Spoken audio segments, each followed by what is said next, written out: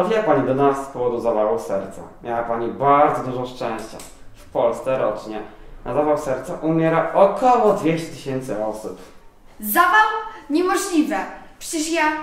Ja zawodowo zajmuję się sercami, leczę złamane serca. Nie wierzy pani? A to co? Papierosy. Palenie zwiększa ryzyko zawału nawet pięciokrotnie. Ale zaraz, zaraz. Co pani mówiła? Jak leczy pani serca? Chyba nie jest pani kardiologiem. Ech, wy kardiolodzy tak niewiele wiecie o sercach. Proszę mnie nie obrażać. Codziennie oglądam ludzkie serce i mogę opowiadać o nich godzinami. Serce to niezwykły narząd o wielkości zaciśniętej pięści. Serce to pusty w środku mięsień, który pompuje krew do wszystkich naczyń krwionośnych, ciała, tętnic, żył i naczyń łosowatych, mających łącznie jakieś 400 tysięcy kilometrów długości. Tak, to wszystko sięga do księżyca i jeszcze kawałek za niego. W czarny wszechświat. Tam każdy jest sam. W swojej pracowni leczę złamane serca. Zapewniam, że doskonale wiem, co mówię. To za absurd! Jaki ma pani dyplom? Serce to mięsień, a nie noga, którą można złamać i włożyć do gipsu. Mam wieloletnie doświadczenie, a to więcej niż nie jeden dyplom. Do gipsu rzeczywiście serca nie włożę. Zagipsowane przestaje czuć, a z nieczułego serca nie ma żadnego pożytku. Znam kilka takich przypadków. To niby jak pani naprawia te złamane serca? Najpierw trzeba się dowiedzieć, dlaczego serce się złamało, bo od tego zależy, w jaki sposób można je naprawić.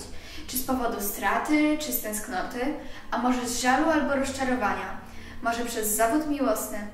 Serce może też pęknąć z samotności albo ze strachu, który nie daje spać po nocach.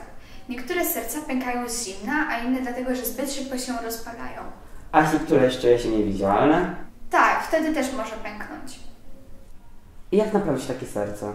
Każde jest inne i trzeba je potraktować indywidualnie. Są takie, które wymagają specjalnego kleju z cz- czułości. I takie, którym potrzebna jest mieszanka z zachwytu i bliskości. Jedne trzeba smarować z wieloma warstwami współczucia i długo czekać, aż wyschną. A inne goją się po przyklejeniu plaster z radości albo dobroci.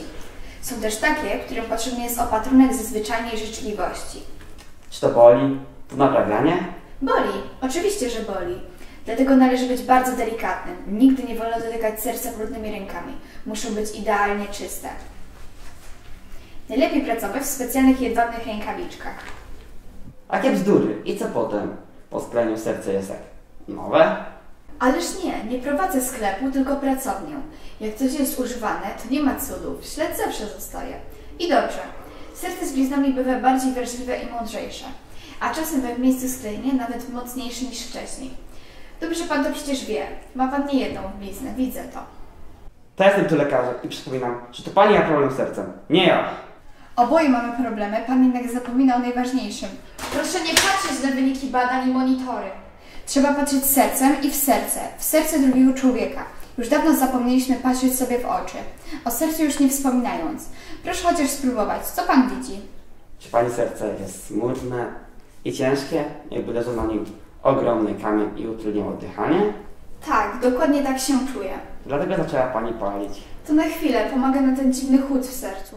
Skąd ten głód? Czego obawia się pani serce? Straty. Chyba jednak nic nie rozumiem. Mieszkam naprzeciwko szpitala przy ulicy Ziemi- Rzemieślników. Proszę spojrzeć, co pan widzi?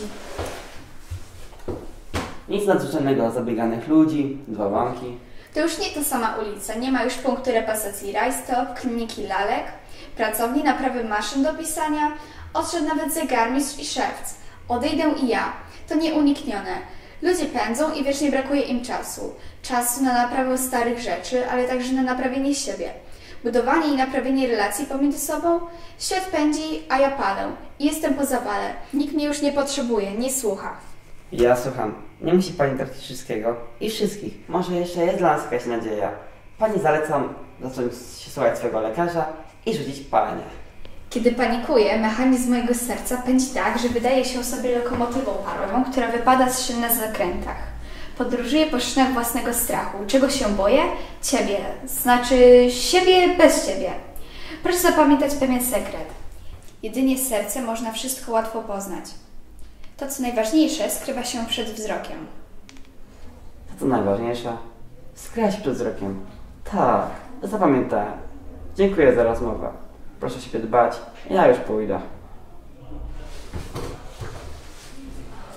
Może? Może w takim razie zgodzi się Pani na herbatę? Za trzy godziny kończę pracę. Bardzo chętnie, ale mam jedną prośbę. Mówmy sobie już po imieniu. Oczywiście. Miło Cię poznać, Nadzieja.